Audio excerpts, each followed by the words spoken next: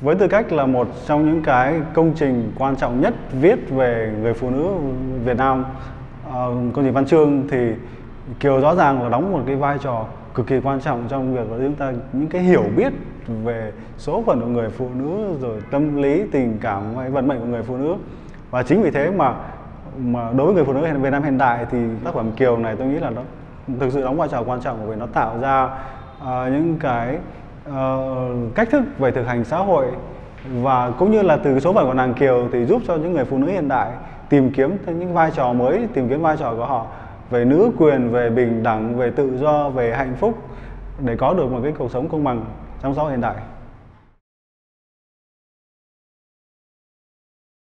À, đối với mình thì Kiều rất là rộng, rất là đa nghĩa. Kiều là một thực hành văn hóa, Kiều là một ẩn dụ cho số phận của Nguyễn Du. Kiều là một ẩn dụ không chỉ cho cá nhân của một con người mà là số phận của một xã hội, một dân tộc. Giống như uh, những người làm sử như chúng tôi thì thường nghĩ rằng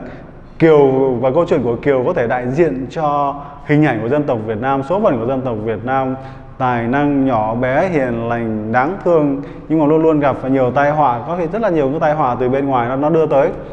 và vì thế mà có thể đó là cách mà người Việt yêu Kiều, người Việt tìm kiếm sự cảm thông, tìm kiếm cái bức thông điệp từ Kiều và tìm thấy ở Kiều một cái nơi nương tựa, một cái sự chia sẻ trong suốt hàng trăm năm qua.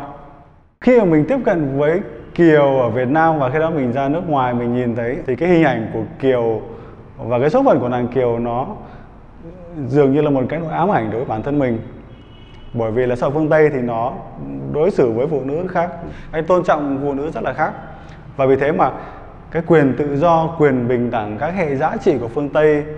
nó luôn luôn ám ảnh nó luôn luôn gợi chiếu cho mình một cái cái điểm nhìn để mình nhìn lại Việt Nam nhìn lại cái xã hội mình sinh ra mình mình, mình ra đi để mình tìm kiếm những cách thức mới. Mình có thể đối xử với mẹ với người thân với bạn bè với đồng nghiệp với sinh viên của mình như thế nào và và rộng hơn là mình mình giúp có nếu mà góp phần nhỏ bé của mình tạo ra những cái định hình xã hội mới mà ở đó vai trò quyền tự do hạnh phúc của người phụ nữ được tôn trọng hơn.